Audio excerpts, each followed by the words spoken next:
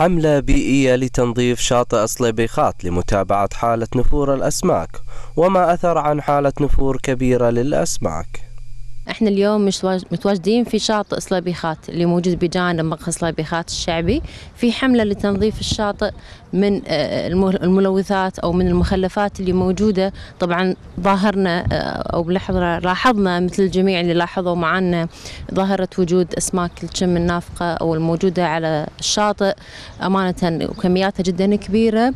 طبعا سابقا تم تصريح من بعض الجهات أن سبب وجود الأسماك بهذه الكمية الكبيرة هو عملية الصيد والصيادين اللي قاعد يرمون السمك الشم لأنه ما ما منه فائده بالنسبة لهم في الجون. ولكن السؤال اللي يطرح نفسه هو شو اللي يابه عند الجون؟ المفروض انه في الجون الصيد ممنوع. فشلون السمك هذا وصل حق الشاطئ؟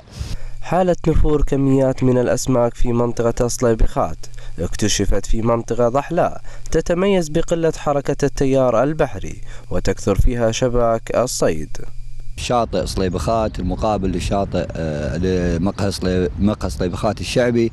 للأمانة لاحظنا يعني وجود كمية كبيرة من الأسماك النافقه وهي معظمها أسماك الجم طبعا.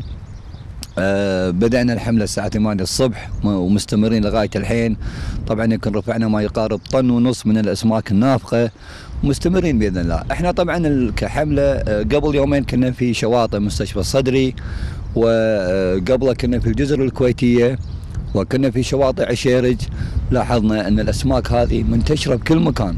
تنظيف المنطقة من تلك الأسماك ورصد تلوثات المياه مستمر وأيضا العمل مستمر على مسح ساحل شاطئ أصليبيخات. والحويدر تلفزيون دولة الكويت.